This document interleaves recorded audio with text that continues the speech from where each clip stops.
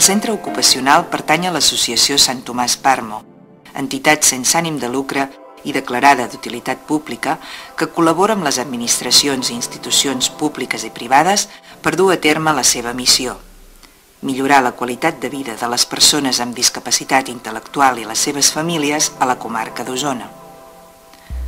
El centre es va inaugurar al març de 1978 i es posava en marxa amb una trentena d'usuaris que duien a terme la seva activitat en tasques de manipulats i impremta.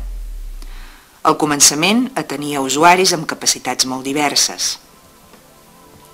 A principis dels 90, però, la legislació passa a distingir els centres especials de treball dels centres ocupacionals, posant els fonaments de les funcions que en l'actualitat són les pròpies d'aquest servei. En l'actualitat es disposa d'unes instal·lacions aptes per atendre una població creixent i molt diversa, i en la majoria de casos amb unes necessitats de suport generalitzades com a conseqüència de problemes de salut, d'envelliment o d'altres tipus de discapacitat associada. Al centre ocupacional es porten a terme les intervencions en l'àmbit de l'ocupació terapèutica i de l'ajustament personal, dirigides a aconseguir la màxima adaptació de la persona al seu entorn per potenciar el major grau d'autonomia possible, així com una correcta integració en l'entorn social i cultural més immediat. Es donen els suports necessaris a les persones per aconseguir un funcionament autònom en els aspectes personals, socials i laborals que facilitin una participació plena en la comunitat, arribant així a resultats valuosos per a la persona.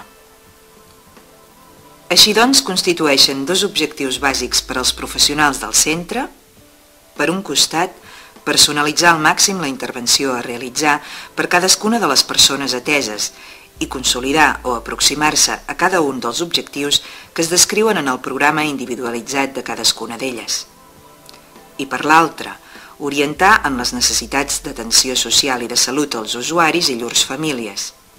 Els professionals del centre buscaran i es coordinaran activament amb els diferents dispositius en els àmbits del lleure, serveis a la persona i salut, donant resposta a les demandes.